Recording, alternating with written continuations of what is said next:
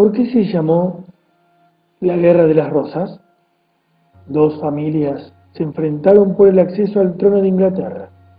Sus respectivos emblemas eran la rosa blanca y la rosa roja.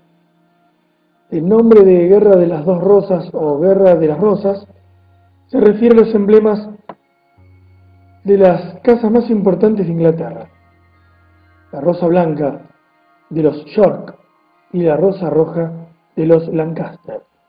Esta guerra enfrentó ambas casas entre los años 1455 y 1485, ya que las dos familias pretendían acceder al trono de Inglaterra por tener un origen en común con la casa de Plantagenet o Plantagenet.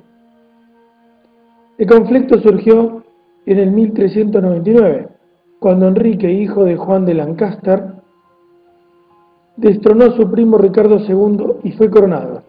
Los York lo aceptaron en principio, pero luego lucharon por su reivindicación en la línea sucesoria.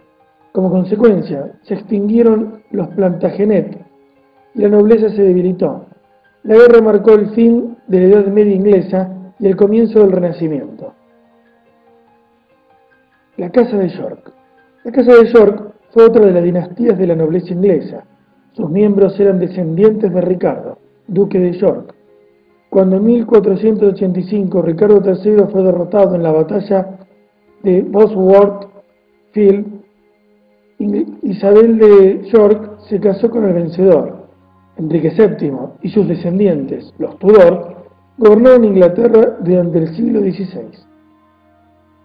La Casa de Lancaster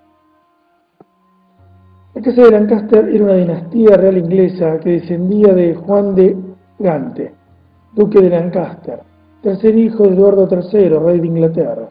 Su símbolo era una rosa roja.